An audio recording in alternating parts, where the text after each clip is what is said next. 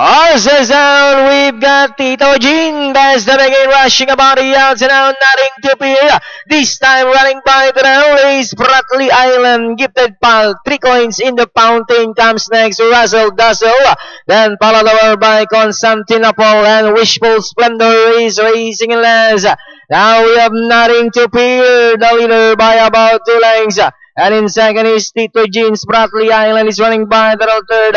That this time, now racing in port, then comes Russell Dussel, gifted Paul, three coins in the fountain, Constantinople and Wishful Splendor, and it's still nothing to fear by about two lengths. And in second still is a Tito Jean Spratley Island Russell Dussel. This time now running by Drellford. Here comes three coins in the fountain.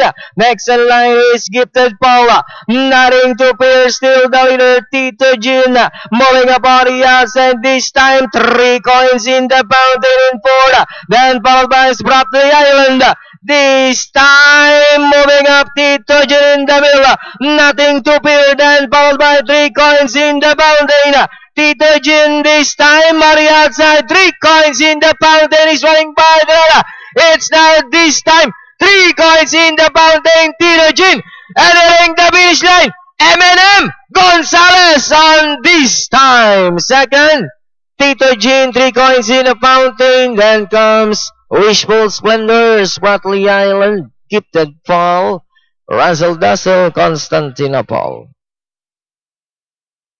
Okay, Bayang Karirisa, dito po sa ating race number 6. Ang ating po unofficial winner dito, your favorite numero 3, yan po.